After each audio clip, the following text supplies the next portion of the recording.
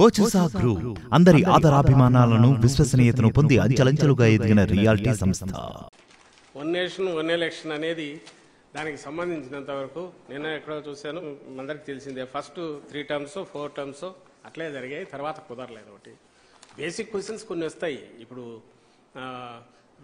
America లాంటి చోట వేరే ప్రాక్టికలీ టూ పార్టీ సిస్టమ్ ఉన్న చోట కరెక్ట్ ఫిక్స్ చేసుకొని పోవచ్చు.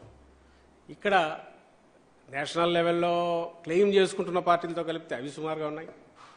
అలాగే రీజనల్ పార్టీస్ వచ్చాయి నిలబడినాయి they are the order of the day ఈరోజు ఇవన్నీ ఉన్నప్పుడు అలాగే a government full term five year మనం నైంటీస్లో చూసుకుంటే వరుసగా exactly ninety six ninety nine మూడు సార్లు ఎలక్షన్లు వచ్చినట్టున్నాయి. పార్లమెంట్వే రెండు సార్లు మూడు సార్లు వచ్చి రెండు సార్లు వచ్చినట్టున్నాయి.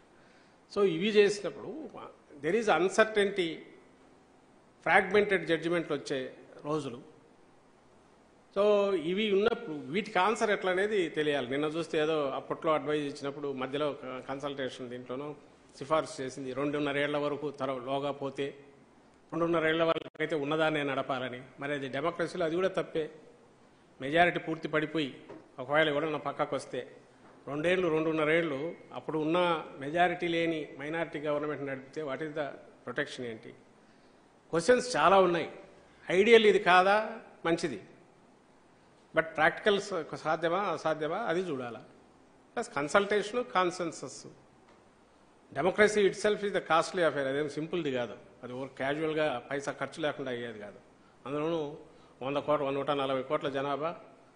ఓటర్లు నాకు తెలిసి వంద కోట్లు ఉన్నారేమో. వంద కోట్ల మంది ఉన్నారా? నేను ఎగ్జాక్ట్ చూడలే కానీ ఈ ఇంత ఇది ఉన్నప్పుడు ఒక మమ్మత్ ఎక్సర్సైజ్ వరల్డ్లోనే లార్జెస్ట్ డెమోక్రసీ అయినప్పుడు ఆ స్పిరిట్ క్యారీ కావాలనుకున్నప్పుడు దానితో అయ్యే కాస్ట్ కూడా ఏదో అవుతుంది. ఐడియల్ సిచ్యువేషన్ సరే. ఇట్లంటే అప్పుడు ఫస్ట్లో జరిగిన ఎలక్షన్లో ఇండిపెండెంట్లు కూడా గెలిచేవాళ్ళు. ఇప్పుడు ఇండిపెండెంట్ తగ్గింది కానీ అప్పట్లో ఇండిపెండెంట్లు కూడా డిసైడింగ్ అయ్యేది అట్లా ఇప్పుడు అది పోయింది. సో పొలిటికల్ సిస్టమ్ వచ్చాక ఇన్ని పార్టీలు వచ్చాయి. మూడు నాలుగు పార్టీలు వచ్చి అవి ఇటు కలిసి అటు కలిసి గొడవ అవుతుంటాం. ఎప్పుడు మెజారిటీ ఎటు పోతుందో తెలియని పరిస్థితి ఉన్నప్పుడు దానికి ఆన్సర్ ఎట్లా అనేది చూడాలంటే దానికి సొల్యూషన్ అయితే పెద్ద కనపడట్లా. లేదు మైనారిటీలో పడినా కూడా గవర్నమెంట్ను కంటిన్యూ చేయాలన్నా అది కూడా క్వశ్చన్ ఇదే అవుతుంది. ఇవన్నీ డిబేటబుల్.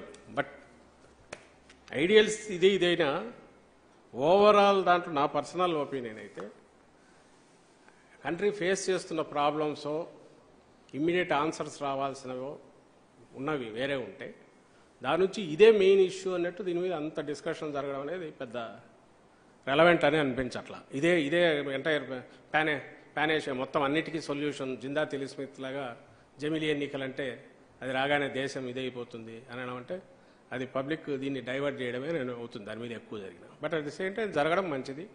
కాన్సెన్సస్ రాగైనా అయినా కూడా ఒక క్వశ్చన్ వస్తుంది. నాలుగేళ్ళ తర్వాత ఇంకో పొలిటికల్ పార్టీ వస్తుంది.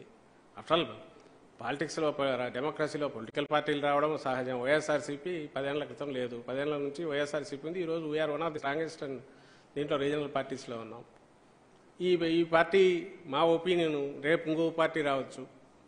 సో ఎవరి మాట కాన్సెన్సస్ అనేది ఏ ఏ గ్రూపులది తీసుకుని దాన్ని కాన్సెన్సస్ అంటాము అది కూడా క్వశ్చనే వస్తుంది.